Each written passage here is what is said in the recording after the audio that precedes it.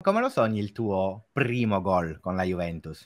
Eh, il mio primo gol con la Juventus lo sogno, diciamo, magari con un tiro da fuori area o con una punizione. Chiedi a Dusan se te li lascia. Eh. Dove eh, preferisci prenderli? A destra o a sinistra? Beh, lui calcia bene da tutto, cioè calcia bene in generale, quindi però ovviamente man- essendo mancino da destra lui calcia veramente bene, io da sinistra.